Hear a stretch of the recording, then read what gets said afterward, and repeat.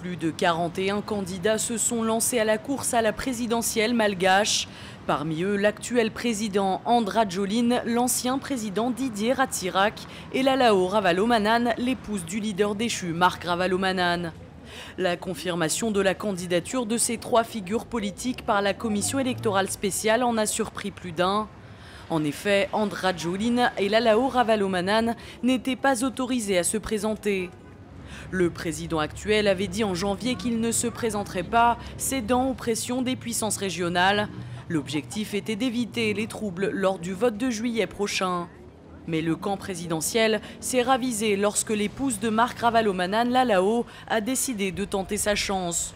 Dans les rues de la capitale Antananarive, les opinions sont partagées. Avoir la femme de Ravalomanan aux élections, c'est pareil que d'avoir Ravalomanan. Il est normal qu'Andre Rajoline veuille aussi participer à cette élection. Ils vont maintenant tous en compétition pour le pouvoir dans ces élections, donc tout le monde est excité. Le leader déchu, Marc Ravalomanan, est en exil en Afrique du Sud depuis le coup d'État perpétré par Andra Jolin en 2009. Il a été condamné par contumace à la prison à vie après avoir été accusé d'avoir ordonné à des troupes d'élite de tuer les partisans du président de la transition à la veille de la prise du pouvoir. Lalao Ravalomanan est revenue en mars à Madagascar pour, selon elle, rester au chevet de sa mère malade.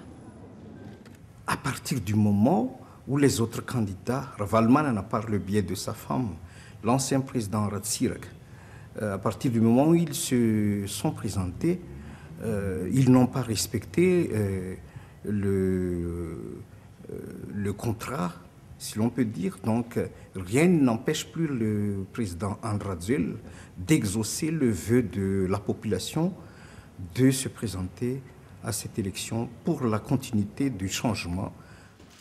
La Haute Cour constitutionnelle de Madagascar a dû faire quelques amendements afin de permettre à la fois à Andra Jolin et à Lalao Ravalomanan de se présenter aux élections, invoquant des craintes de troubles sur l'île que ce soit la mouvance Andradul par le biais de M. Andradul, que ce soit la mouvance Ravalman par le biais de l'épouse de l'ancien président Ravalman, que ce soit la mouvance Didier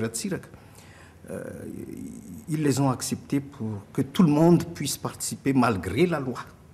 Hein, parce que l'apaisement, euh, le, euh, le souci d'éviter la guerre civile, tout ça, c'était plus fort que euh, le souci du juridisme et du légalisme.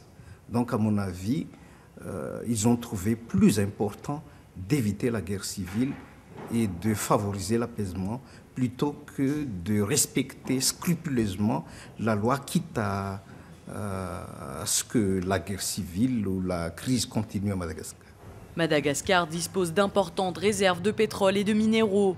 Mais les quatre dernières années d'incertitude politique ont nui à la croissance et ont découragé les investisseurs.